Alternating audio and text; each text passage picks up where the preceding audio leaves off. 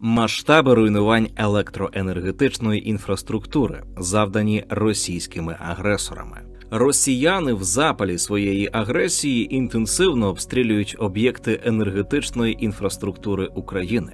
Вони цілеспрямовано завдають великої шкоди українській енергетиці, не беручи до уваги, що в більшості випадків ракетні та артилерійські атаки руйнують критичну інфраструктуру для звичайних городян та селян. Житло, лікарні, школи, навіть театри, будинки культури та музеї стають мішенями. За даними проєкту Росія заплатить, який реалізує Київська школа економіки, вже на початок 2024 року збитки української енергетики складають 9 мільярдів доларів, і це лише проміжні дані. Найбільше і найзухваліше рашисти цілять в об'єкти саме енергетичної інфраструктури. Перший рік війни мішенями були системи передачі та розподілу енергії, підстанції, електромережа. Росіяни хотіли просто розділити нашу енергосистему на дві частини лівобережну та правобережну, що могло призвести до технічних проблем, як від коливання частоти та теоретично навіть до повного блекауту. Однак ці атаки наші енергетики витримали. Влучити точно в трансформатори та підстанції Укренерго виявилося достатньо складним завданням, і ми мали запаси трансформаторів, які можна було швидко відновлювати або замінювати. Система, хоч і зазнала уражень, та оперативно приводилася до ладу. Ремонтувалася також з усього світу надходило до України нове енергетичне обладнання, навіть з далекої південної Кореї. Зима 2022-2023 років була нелегкою, проте катастрофічних ситуацій ми уникли. Суспільство мобілізувалося в боротьбі за якість життя, свіжі у пам'яті звуки масової роботи дизель-генераторів різної потужності, якими оперативно були забезпечені лікарні, школи, підприємства та навіть кафе і магазини. На початку 2023 року росіяни почали завдавати ударів вже і по електростанціях. Ці удари поступово зменшувалися протягом року, оскільки наша система протиповітряної оборони та загальна стійкість виявилися досить ефективними. На другу зиму боїв 2023-2024 років ворог змінив тактику, і, хоч попервах здавалося, що серйозних уражень енергооб'єктів вже не буде, у березні-квітні 2024 року росіяни вирішили масованими обстрілами вивести з ладу генеруючі потужності, а не лише електричні мережі, які швидко та ефективно поновлюються. Росіяни перейшли до масованих ракетних ударів, вражаючи не однією двома, а іноді сімома, а то й вісьмома ракетами одночасно в одну точку з урахуванням на те, що якась кількість цих ракет все-таки влучить. При цьому вони стали активно використовувати не крилаті, а балістичні ракети, які складніше перехоплювати. І, ймовірно, це сталося через часткове виснаження нашої протиповітряної оборони, нестачу та дефіцит ракет для неї. Тому величезна кількість ракет, що спрямовувалися на наші об'єкти, разом із використанням балістичних ракет, на жаль, призвели до влучань і руйнувань не тільки підстанцій Укренерго, а й безпосередньо самих електростанцій, як теплових, так і гідроелектрогенерацій. У компанії ДТЕК, власника і контролера багатьох теплоелектростанцій України, заявляють, що ворожі атаки знищили близько 80% їх генеруючої інфраструктури. Ударів зазнала система теплоелектростанцій. ТЕС також постраждали і гідроелектростанції ГЕС.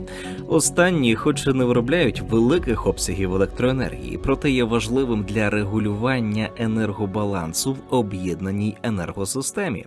А великі ТЕС є критично важливими як для обсягів виробництва електрики, так і для маневрування, адже основну частку електроенергії України виробляють атомні електростанції АЕС. А вони працюють рівним графіком і не пристосовані до швидкої зміни навантаження. Узагальнено кажучи, ТЕС це електростанції, які можуть без проблем призупинити або зменшити виробіток електроенергії в години, коли споживання мале вночі або серед дня. Атомні електростанції таких припинень виробітку намагаються уникати. Трагічним прикладом надмірного маневрування ядерними енергоблоками слугує Чорнобильська АЕС, де у 1986 році стався вибух реактора під час маневрування потужностями. Під час трансляції на нашому каналі голова Комітету Верховної Ради України з питань енергетики та житлово-комунальних послуг Андрій Герос озвучив, що втрати потужності у 2024 році становлять близько 7 тисяч мегаватт. Наразі пікова потужність в Україні становить близько 12-13 тисяч мегаватт. Отже, втрата 7 тисяч мегаватт – це більш ніж половина загальної потужності. Криворізька ТЕС, Зеленодольськ, Кривий Ріг. Потужність 2820 МВт. Найбільша ТЕС України здатна забезпечити електрикою велике промислове місто Кривий Ріг і Криворізький район. Бурштинська ТЕС, Бурштин, Івано-Франківська область, потужність 2400 МВт. Одна з найбільших ТЕС країни, важлива для енергосистеми України як маневрова, тобто здатна швидко спрямовувати електроенергію в потрібному напрямку для Бурштинського острова, територія, яка була конструктивно відокремлена від енергосистеми України, неодноразово піддавалася ракетним атакам. Після останньої атаки, 22 березня 2024 року, пошкоджено всі 12 енергоблоків станції. Слов'янська ТЕС, Слов'янськ, Донецька область, потужність 2100 МВт. 5 травня 2024 року була уражена п'ятьма ворожими ракетами. До того була атакована росіянами 28 травня і 17 вересня роботу станції зупинено. Зміївська ТЕС, Харківська область, потужність 2175 МВт. 22 березня зруйнована ракетною атакою росіян. Трипільська ТЕС, Київська область, потужність 1800 МВт. найбільший постачальник електроенергії для Києва та навколишньої території. 11 квітня 2024 року внаслідок ракетного удару повністю була виведена з ладу. Ладижинська ТЕС, Ладижин, Вінницька область, потужність 1800 МВт. Внаслідок ракетної атаки 10 жовтня 2022 року постраждали всі шість енергоблоків станції. Знову була атакована 27 квітня 2024-го. Курахівська ТЕС, Донецька область, потужність 1527 МВт. Піддавалася неодноразовому ворожому обстрілу, відрізана від енергосистеми України через руйнування ЛЕП. Дніпровська ГЕС, Запоріжжя, потужність 1569 МВт. Знаменитий Дніпро ГЕС у 1930-х роках його будівництво стало символом масової електрифікації країни. 22 березня 2024-го станція зазнала ракетного удару. Обидві черги ГЕС 1 та ГЕС 2 виведені з ладу і не працюють. Необхідне повне відновлення машинного залу та електрообладнання станції. Зуївська ТЕС, ЗУГРЕС, Донецька область, потужність 1245 МВт. Перебуває на окупованій території, піддавалася провокаційним обстрілам рашистів. ТЕЦ 5 Харків постачає місту електроенергію та тепло, одна із найбільших ТЕЦ країни кілька разів піддавалася обстрілам. А 22 березня 2024 року внаслідок ракетної атаки була повністю зруйнована.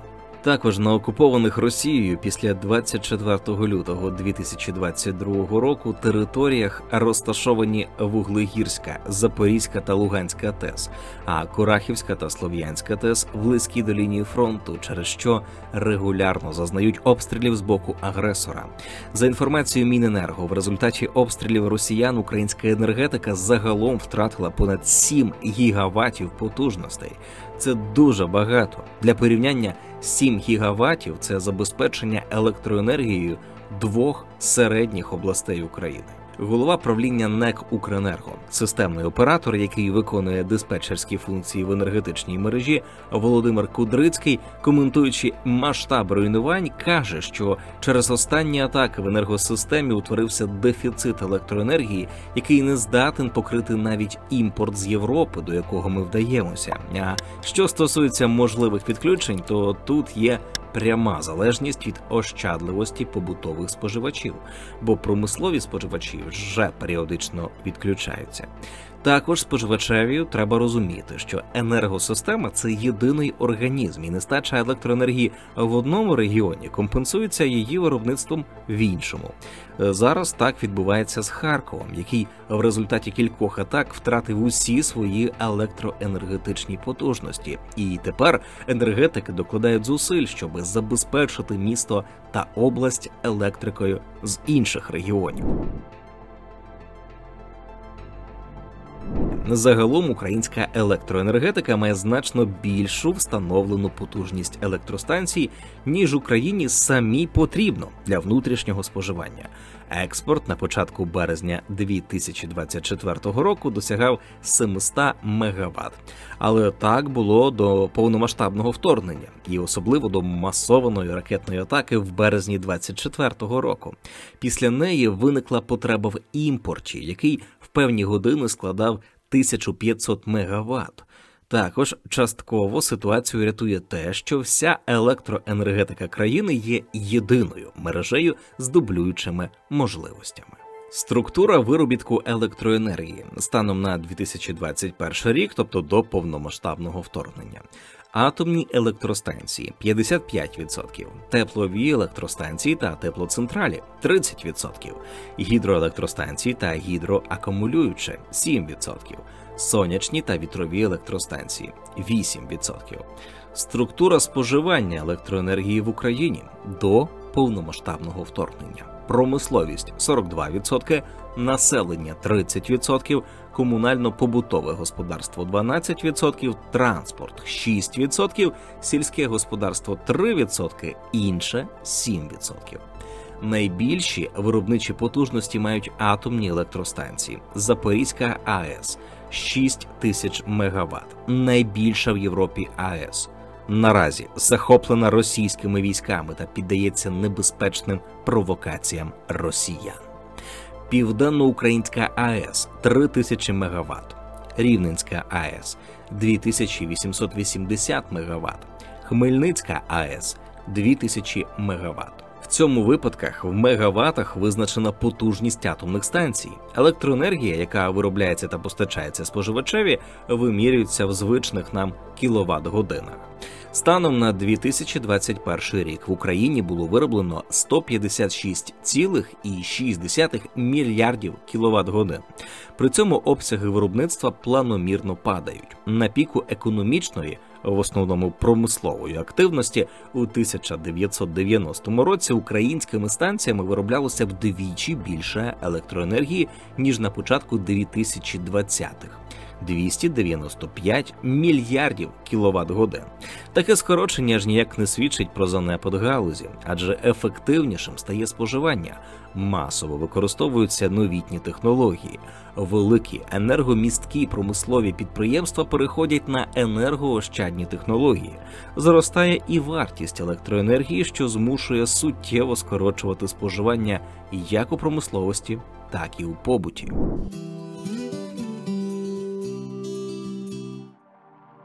Звичайно, проблеми виникли, деінде дуже серйозні. Деякі регіони та міста на довший чи менший строк опинилися без електропостачання.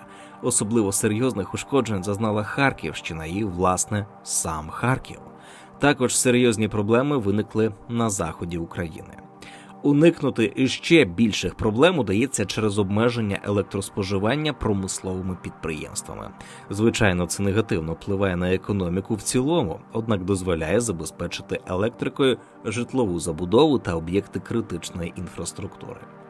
У фахівців енергетиків, економістів, політиків є різні думки щодо того, як розподілити в суспільстві тягар незручностей від дефіциту електроенергії. На сьогодні домінує позиція політиків, які воліють по максимуму забезпечити більш-менш комфортними умовами населення, і вони мають підтримку в цьому. Та й правда, хто хоче сидіти в темряві, холоді, без води, ліфтів та й усіх благ, що нам дає електрика. До того ж, кожен громадянин це виборець, якому політики мусять подобатися. Економісти та підприємці мають у своєму загалі дещо іншу думку. Треба широко задіювати ринкові заходи подолання дефіциту, зокрема вести гнучку тарифну політику, примушуючи пересічних громадян платити високу ціну за споживання електрики в години пікових навантажень. На думку багатьох, е, нинішній тариф, а це 2 гривні 64 копійки за кіловат годину, по суті є не пільговим, а базовим.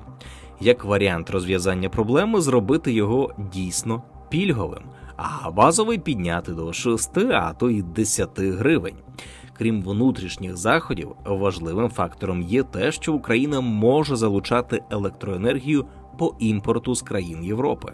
Так збіглося, що буквально в перший день масованого наступу росіян, 24 лютого 2022 року, фахівці національної енергетичної компанії Укренерго забезпечували старт роботи нашої енергетичної системи в ізольованому режимі, режим планового від'єднання від енергосистем РФ та Білорусі, з якими були технічно пов'язані ще з совєтських часів задля наступної синхронізації української енергосистеми із європейською. Цей старт віншував багаторічні перемовини та технічну підготовку мережі. Завдяки успішному проходженню цього ізольованого режиму, який вийшов довшим ніж планувалося, попри масовані атаки, Україну достроково приєднали до електричної мережі континентальної Європи, і зрештою ми стали повноправними учасниками ЕНСО І. Електрична євроінтеграція України відбулася. Ясна річ, що до мереж РФ та Білорусі ми назад не під'єднувалися, як то планувалося до вторгнення. ЕНСО І це європейська мережа операторів системи передачі електроенергії, що об'єднує 43 оператори у 39 країнах Європи. Попервах Україна планувала продавати електроенергію до Європи, адже ми мали на той момент надлишок виробництва електроенергії. А от вже після перших значних руйнувань, яких завдали нашій енергосистемі рашистські обстріли, перетоки електроенергії в рамках ЕНСО і від європейських виробників до українських споживачів стали для України рятівним колом. За допомогою поставок енергії з Європи до України ми в багатьох випадках та на багатьох територіях змогли уникнути повного та тривалого блекауту тобто масового відключення споживачів. Поки не зникає загроза подальших обстрілів української енергетики, рашистами немає сенсу вкладати величезні гроші в ремонт і оновлення старих гігантських електростанцій. Варто зосередитися на швидкому ремонті та будівництві локальних електростанцій. Власне, так воно і робиться. Джерела постачання обладнання та фінансування проєктів різноманітні. Як правило, це спрямовується через наших союзників по всьому світі. Уряд США підтримує енергетичну інфраструктуру України через Агентство США з міжнародного розвитку USAID. В рамках проєкту енергетичної безпеки 23 силових трансформатори передані Бучанській міській раді для забезпечення функціонування локальних об'єктів критичної інфраструктури. Ця допомога дозволить не лише відновити стабільне електропостачання для близько 50 тисяч мешканців Бучі, а й сприятиме зміцненню загальної стійкості інфраструктури міста. Це дозволить відновити роботу лікарень, навчальних закладів і місцевих підприємств, робота яких спрямована на забезпечення основних потреб населення. З останніх ініціатив США нова програма підтримки енергетичного сектору України вартістю 190 мільйонів доларів. Програма називається Забезпечення енергопостачання, стійкості та сталої роботи енергомереж та розрахована на 5 років. Також визначається з інвестиціями в оновлення енергосистеми міст Буча, Ірпінь та Бородянка енергетична компанія ДТЕК Інвестиції складуть 145 мільйонів євро, зазначили в ДТЕК. Загалом від початку повномасштабного російського вторгнення США надали Україні допомогу у сфері енергетики вартістю майже 1 мільярд доларів. Від німецьких партнерів надійшло 43 вантажі допомоги для потреб енергетики. Це майже 334 тонни обладнання. Зокрема, в рамках кампанії німецько-українського енергетичного партнерства з надання донорської підтримки Міністерство енергетики України отримало від німецького оператора 40 трансформаторів. Серед обладнання, яке надійшло з Німеччини, також є генератори, арматура для повітряних ліній, розподільне та освітлювальне обладнання, електричні інструменти. Керівники та речники енергетичних компаній закликають споживачів до ощадливого споживання, наводять аргументи щодо цього. Скажімо, з побутових приладів багато споживає електричний чайник 2,2 кВт. Тож варто так кип'ятити воду, щоб чайник працював мінімум часу. Стільки ж споживає праска, а найбільше електрична плита 3,5 кВт. А от кондиціонер та пральна машина споживають начебто й небагато 0,7 кВт. Однак треба мати на увазі, що ці прилади працюють годинами, а отже, в підсумку споживають досить багато. Важливо економити електроенергію в певний час доби, як правило, з 19 до 22, коли триває вечірній пік побутового споживання, а промислове споживання ще не згорнулося на ніч. Власники та керівники енергокомпаній, у тому числі й державних, говорять про неминучу необхідність здійснювати великі інвестиції у відновлення енергетичної інфраструктури. Джерел таких інвестицій є кілька. По-перше, це тарифи, за якими електроенергія продається споживачам. Для промислових підприємств ціни формуються на ринкових засадах. Для приватного побутового споживача тариф встановлюється колегіальним органом національною комісією, що здійснює державне регулювання у сферах енергетики та комунальних послуг. Попри формальну незалежність комісії, вона перебуває під впливом уряду і виконує його розпорядження. Станом на початок травня в Україні встановлено ціну у 2 гривні і 64 копійки за кіловат годину. І є висока ймовірність підняття ціни вже у червні. Експерти мають різні думки щодо подорожчання. Ринкова вартість електроенергії у травні при цьому складає близько 4 гривень за кіловат годину, не враховуючи вартість передачі енергії, яка залежно від регіону коливається від 1 до 3 гривень за кіловат годину. Прогноз коливається між 3 та 6 гривнями за кіловат годину. Але подорожчання електроенергії для населення уникнути не вдасться. Значною мірою саме через необхідність переборювати наслідки руйнівних ворожих атак на електростанції та мережі, адже необхідні ремонти та поновлення об'єктів інфраструктури. Також через нестачу власної генерації регулярно здійснюється закупівля дорогої електроенергії з європейської мережі, на сплату якої теж потрібні ресурси. Власне, ціни на гуртовому ринку електроенергії коливаються суттєво, і якщо для промислових споживачів вони формуються на більш-менш ринкових засадах, то для побутових споживачів ціноутворення є регульованим і винесене за дужки реального ринку. По суті, споживання побутових споживачів субсидується державою, точніше платниками податків, і тариф є цілком зарегульованим. Скажіть, чи це соціально справедливо, що однаково субсидується електроенергія як для сім'ї, що живе у двокімнатній квартирі на 50 квадратних метрів у Миколаєві чи Бердичеві, так і для власників палаців на 500 квадратів в елітній Кончазаспі? Для порівняння базова ціна на електроенергію у нашого найближчого сусіда Польщі теж дорожче і становитиме близько 7 гривень за кіловат годину, 4 гривні власне електрика і 3 гривні за доставку. За перевищення річного споживання у 3 тисячі кіловат годин ціна зростає до 10 гривень за кіловат годину. При цьому у Польщі діє 5 великих роздрібних продавців електроенергії, які формують пакети послуг для різного характеру споживання. Наприклад, окрім нічного тарифу, який застосовується і в Україні, в Польщі є такий саме пільговий денний тариф.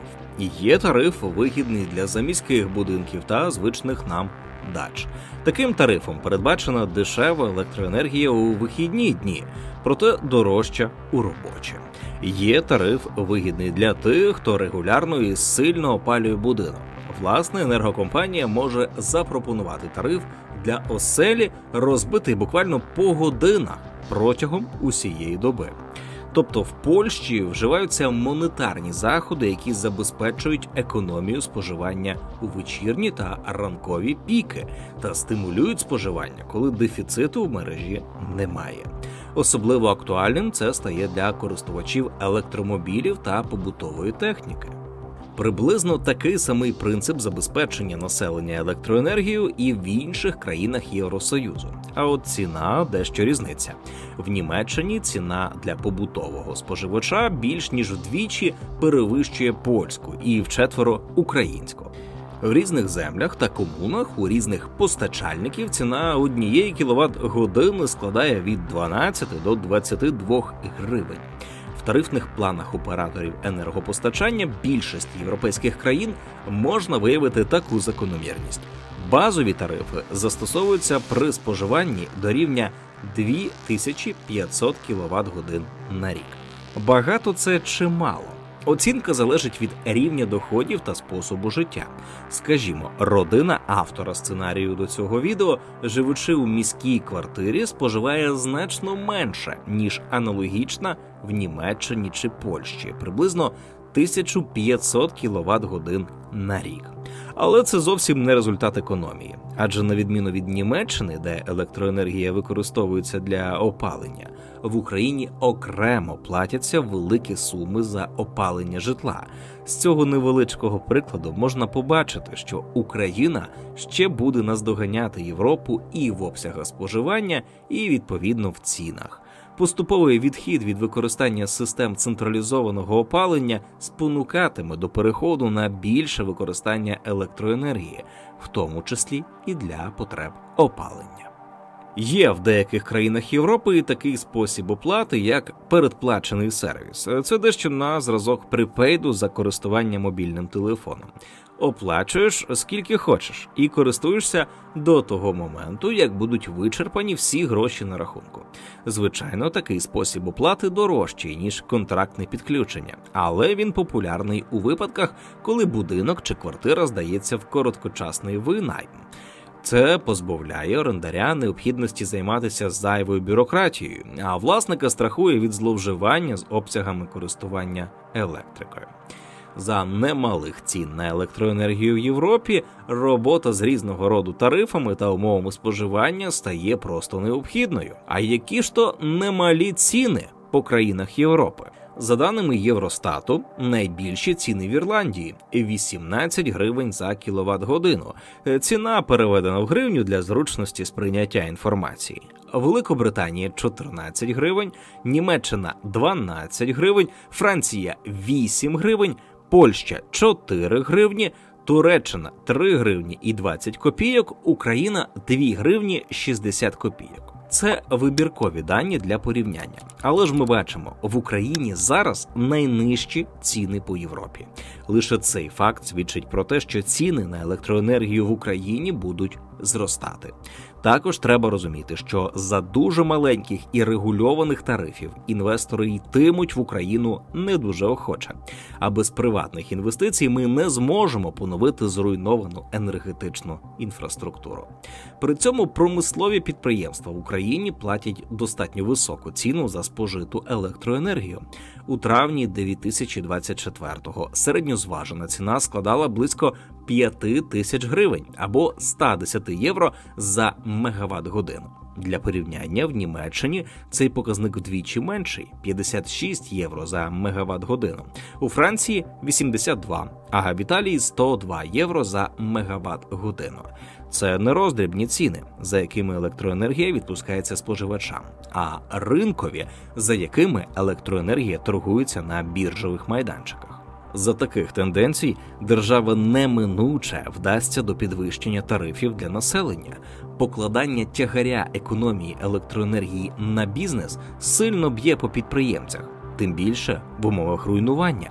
Тож побутових споживачів чекає запровадження підвищених тарифів з адресними субсидіями для уникнення соціальної нерівності, коли скромна сім'я у маленькій квартирі у райцентрі платить стільки ж, як і власники палаців у Кончазаспі на 500 квадратних метрів, які споживають надмірно і фактично субсидуються за кошт інших. Чому атака росіян на нашу енергетику не є безвихідною проблемою, а їх нищівні результати відкривають нові перспективи? Тому що це крок до системної реформи електроенергетики. Наразі електроенергетика України базується на станціях гігантах ТЕС та АЕС.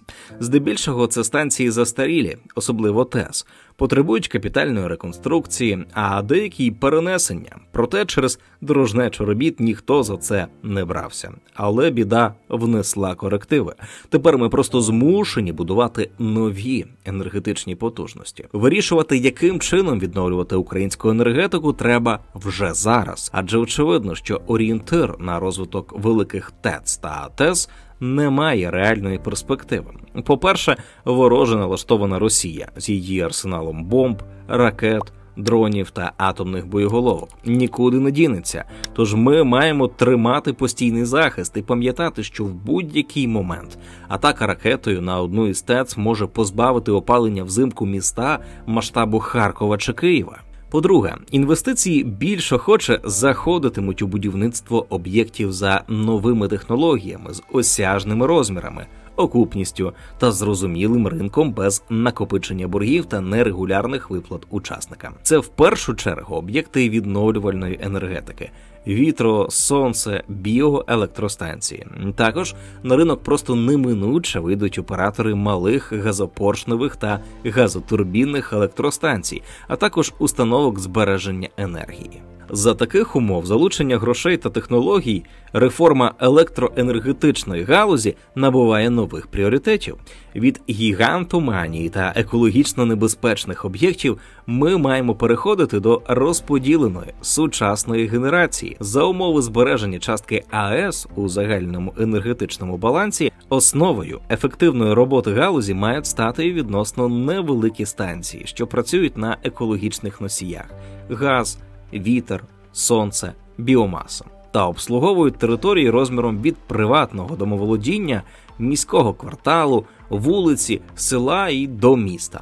Треба врахувати також, що невеликі об'єкти розподіленої генерації на газу мають значно кращі маневрові можливості, що дуже важливо, враховуючи велику частку АЕС в енергоміксі України. Також своє місце в енергобалансі отримає відновлювальна енергетика. Її розвитку сприятиме відносно просте і недороге обладнання та монтаж. Хоча тут варто дати й протилежну думку. Під час дискусії наші глядачі запитали Андрія Геруса про доцільність відновлення старих ТЕЦ, ТЕС які були зруйновані. Він відповів, що відновлення пошкоджених енергетичних об'єктів потрібне, адже це може дозволити повернути у систему велику потужність генерації за відносно невеликі кошти. Ступінь пошкодження може бути різною від повного руйнування основного обладнання турбіни, генератори, котли до більш локальних пошкоджень, наприклад, даху чи вікон. Відновлення локальних пошкоджень, як правило, є простішим та дешевшим. Так, якщо вдасться відновити та ввести в експлуатацію один енергоблок теплової електростанції, це може забезпечити повернення в енергосистему від 800 до 1500 МВт потужності. Водночас будівництво нового об'єкта такої ж потужності з нуля відбувається значно довше і коштує дорожче. Тому в цілому так має сенс зосередитись на відновленні пошкоджених енергетичних об'єктів, особливо тих, де можна повернути велику потужність за відносно невеликі кошти та в стислі терміни. Такі проєкти відновлення мають бути пріоритетними. Хто стане інвестором змін у формуванні нової стратегії? Треба відповісти на кілька наріжних питань: хто буде стейкхолдерами та набувачами вигод від запланованої економічної активності, в інтересах кого треба здійснювати реформи галузі, хто платитиме за відновлення конкретних енергетичних об'єктів.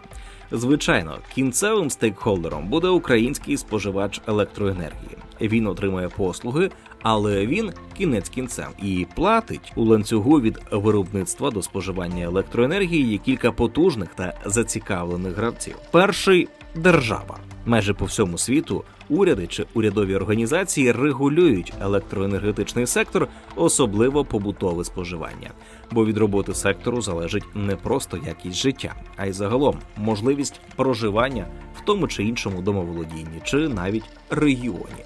Державний контроль в Україні нікуди не дінеться, можуть лише змінюватися задачі, які такий контроль вирішує. Наприклад, це тарифна та цінова політика вартість підключення, транспортування, споживання. Та й взагалі підготовка та реалізація енергетичної стратегії та політики це здебільшого прерогатива держави. Другий стейкхолдер це приватний вітчизняний інвестор якими б сильними не були позиції держави в енергетиці, держава ніколи не була ефективним власником. В Україні минув етап, коли співвласниками чи контролерами енергетичних компаній були напівлегальні посередники. Це ми спостерігали на прикладі. Центр енерго, коли потужною державною компанією фактично керували самозванці з метою видоїти якомога більше готівки. А ось 100% легальний приватний інвестор зможе ефективно використати інвестиції в різних масштабах. Ще у відновленні української енергетики без сумнівів будуть працювати іноземні фахові інвестори. Запрацюють банківські кредитні лінії, будуть залучені гранти міжнародної допомоги. Також ми розраховуємо на репарації з боку переможеної Росії. Скільки це все коштуватиме? Коли почнеться цей етап реформи та відновлення? Відповідь проста. Частково цей процес у вигляді технічної та фінансової допомоги вже йде, і ми про нього говоримо. А масові бізнес-інвестиції підуть в Україну щойно замокнуть гармати. Що актуально зараз? Індивідуальні зусилля щодо забезпечення електроенергії. До початку нового опалювального сезону 5 місяців. Це занадто малий термін, аби встигнути капітально полагодити ті руйнування, які вже мають місце. А будуть ще й нові. На жаль, ми не маємо сумнівів у підступності Путіна і його камарильї. В даних умовах розв'язання проблеми бачиться в індивідуальних зусиллях щодо подолання загрози блекауту малі електростанції, генератори, зарядні пристрої, EcoFlow та інше. Процес переходу на індивідуальні засоби забезпечення електроенергії вже триває. Оцінково за минулі два роки війни в Україну завезено індивідуальних систем електропостачання на півтора гігавата.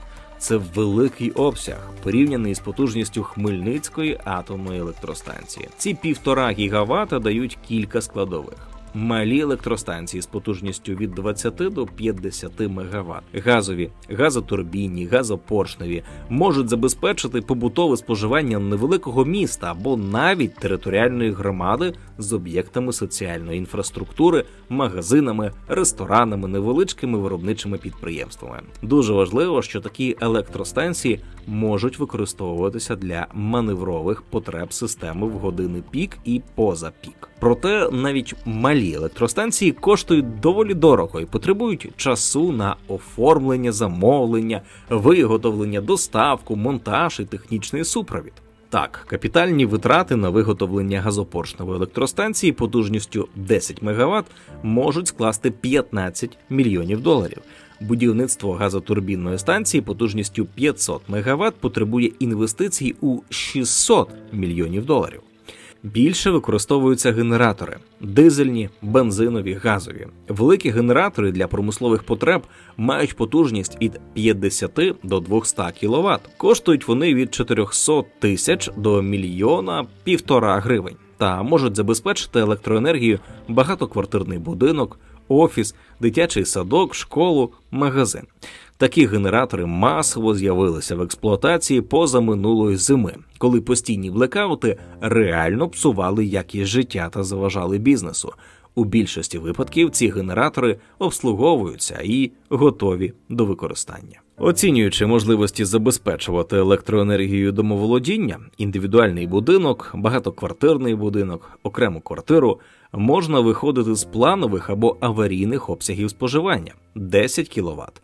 Такий ліміт частіше за все встановлюється при будівництві, а без опалення достатньо потужності у 5 кВт. Генератори саме такої потужності здебільшого використовують і для індивідуального будинку чи невеликої торгової точки. Магазин чи кав'ярня, генератор потужністю до 5 кВт коштує близько 20 тисяч гривень. Генератор потужністю до 10 кВт коштує близько 40 тисяч гривень.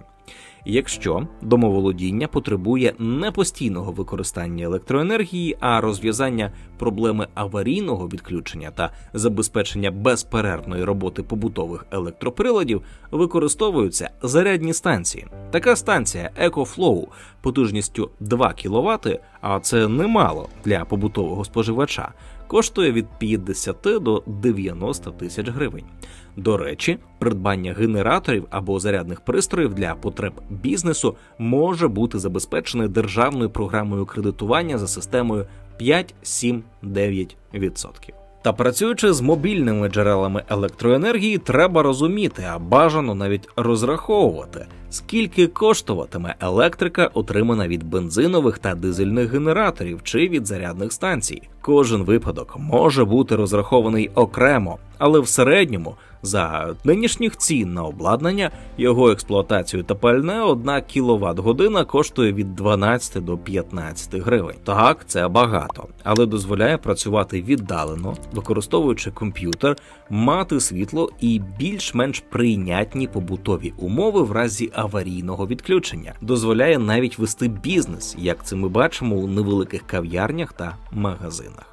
Також одним із рішень з виробництва електрики може стати газопоршнева генерація, про яку докладно під час стріму розповів Андрій Герос. Газопоршнева генерація це відносно невеликі електростанції потужністю до 10 МВт, що працюють на природному газі. Вони характеризуються високою маневреністю, здатністю швидко змінювати рівень генерації. Окрім газопоршневої, існує також газотурбінна генерація потужністю від 10 до 50 МВт. Вона також є маневреною, хоч і не настільки оперативною, як газопоршнева. Ці види генерації важливі для балансування енергосистеми, особливо з огляду на зростаючу частку зеленої енергетики, яка залежить від природних факторів і не піддається повному контролю людини. Газопоршневі та газотурбінні електростанції можуть бути розташовані безпосередньо поблизу кінцевих споживачів, наприклад, у великих містах, таких як Київ, Одеса, Харків або Кривий Ріг. Це дозволяє забезпечувати надійне електропостачання у місцях з високим попитом. Встановлення таких електростанцій може відбуватися відносно швидко. Газопоршневу станцію потужністю 1 МВт, встановлену в Ірпені, вдалося ввести в експлуатацію за 2,5 місяці. Тобто це досить швидкий процес. При збільшенні потужності станції час їх встановлення зростає, але не пропорційно. Наприклад, станцію потужністю 10 МВт можна встановити у півтора-два рази довше, але не в 10 разів. Це дає можливість реалізувати багато подібних проєктів до наступної зими. Газопоршневі станції можуть бути встановлені на об'єктах критичної інфраструктури, таких як Теплокомуненерго, водоканали, лікарні, поліція тощо. Це забезпечить безперебійне електро та теплопостачання цих об'єктів. Тому розвиток газопоршневої та газотурбінної генерації розглядається як один із ключових інструментів для стабілізації енергопостачання в Україні перед наступним опалювальним сезоном. Така диверсифікація є нашою економічною реакцією на агресію Росії, нашою відповіддю.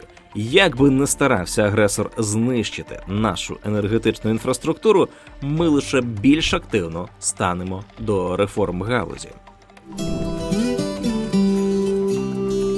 Плани уряду України щодо децентралізації електро та теплопостачання.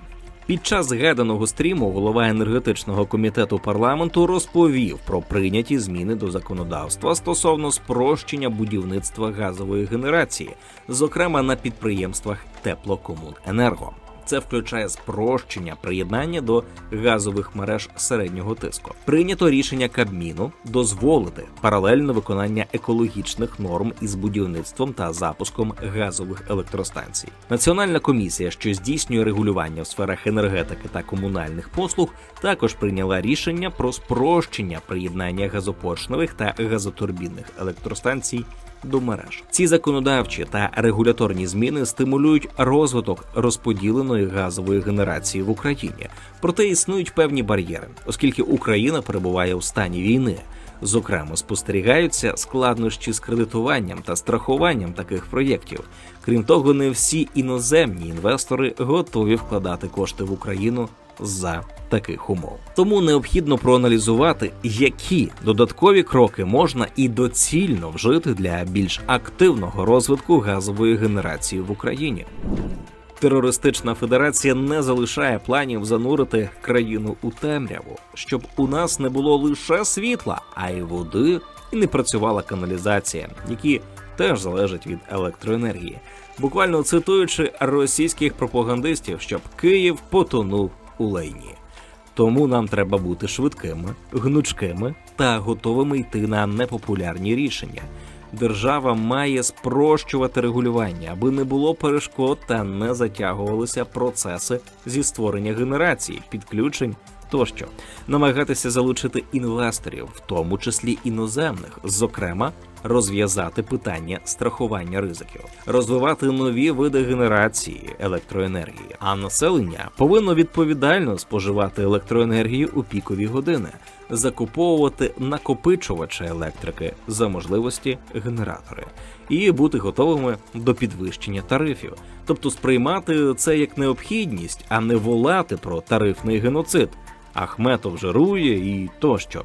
Соціальний популізм у темі комунальних тарифів це зло, що руйнує Україну.